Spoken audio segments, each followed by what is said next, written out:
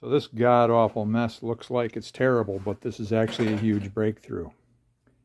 Uh, today I got all the guts strung together and the software working for a motor controller.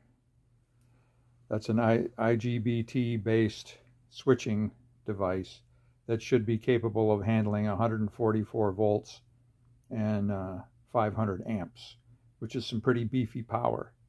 Um, actually, the, the bricks are rated higher, but, um, and the remarkable thing is, if you look at that little motor, I'm going to press down on this throttle pedal that comes out of a Subaru and watch what happens.